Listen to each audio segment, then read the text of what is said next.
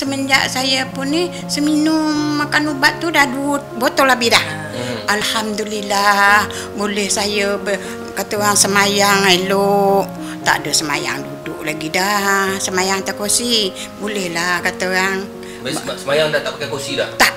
Assalamualaikum. Sekarang ni saya dengan Makcik Bayram umur 84 tahun. Makcik ni ada gaul.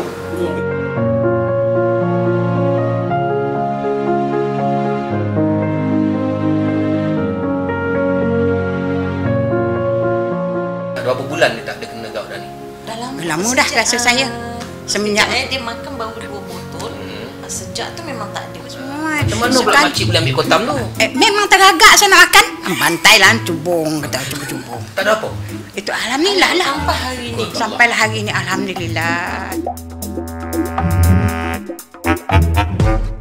Last week dia pergi ceras Ah, ah, Kak. rumah kenduri kahwin. Kahwin. Semalam jumpa uh, kawan Pergi saya. mahal kahwin saya, saya duduk lah sana Ah, mah kawan, saya, dua tiga sendiri hari. cerita dengan saya semalam dia kata Nana mak mak you tu sihat dia boleh duduk bersila dia basuh telur Esok. tanpa duduk atas kerusi dia duduk bersila Ah, Saya uh, adalah orang tu kahwin kan, tolonglah. Kalau pergi rumah orang kan dah duduk tiga hari kan kejap duduk kata orang tua ni makan tidur makan Iyalah kan Iyalah, Ah, iyalah. Alhamdulillah ah, saya punya adra yang uh, graviola gold dengan teh tu itu adalah uh, penyebab yang menyembuhkan Allah Taala Ya, kan iyalah. ah, menjadi penyebab nak berjumpa lah cik. Iyalah, Ah. karena kita usaha.